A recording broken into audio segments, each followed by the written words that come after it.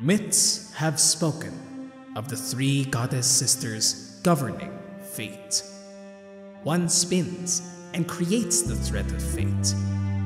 One measures and observes, and one cuts the thread as all mortal lives come to an end. The past, the present, the future. But what if one of them walks among us mortals for reasons we don't know?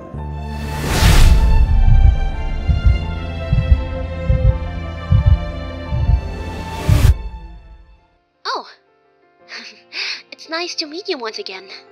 I'm Sen, but also known as.